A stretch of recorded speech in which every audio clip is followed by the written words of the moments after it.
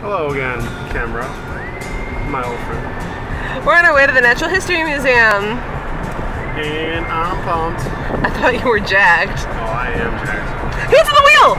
Oh, I should have never let you drive.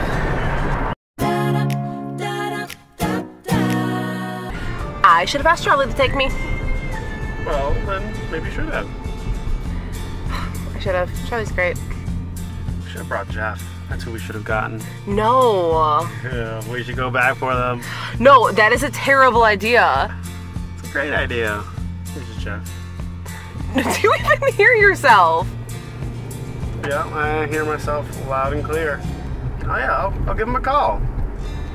Oh my god, no. I'm call Jeff. What up, bitch? Jack! Jeff!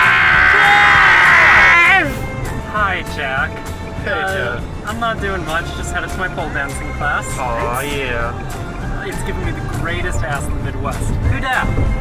This is Emily. Emily? Yeah. Annie's old roommate, Emily? Yep, the one and only.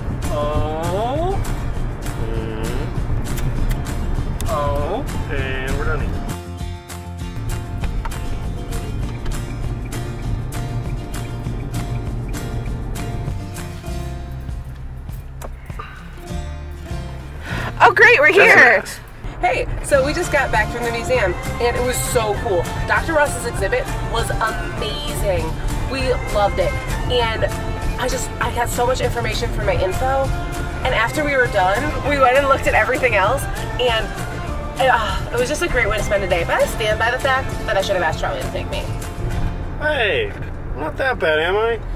Sure, you're not.